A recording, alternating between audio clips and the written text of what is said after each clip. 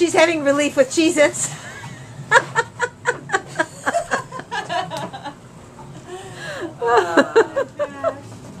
oh my goodness.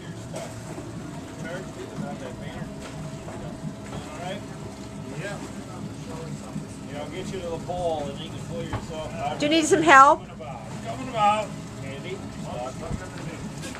It's like, do you need some help? And I just stand there taking pictures of it.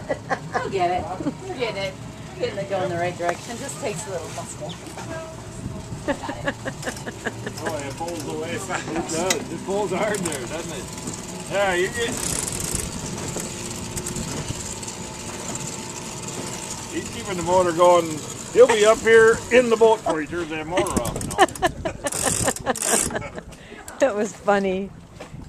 Alrighty there, baby. There you go. So when now when you get a dinghy for your boat, you're gonna you're gonna know how to hang it. All right, see if you can pull him over there just a little bit.